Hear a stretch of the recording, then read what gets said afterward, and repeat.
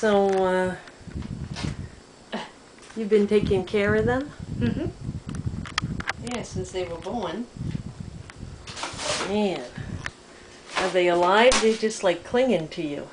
They're alive. They're just a little scared. And the other two are alive too.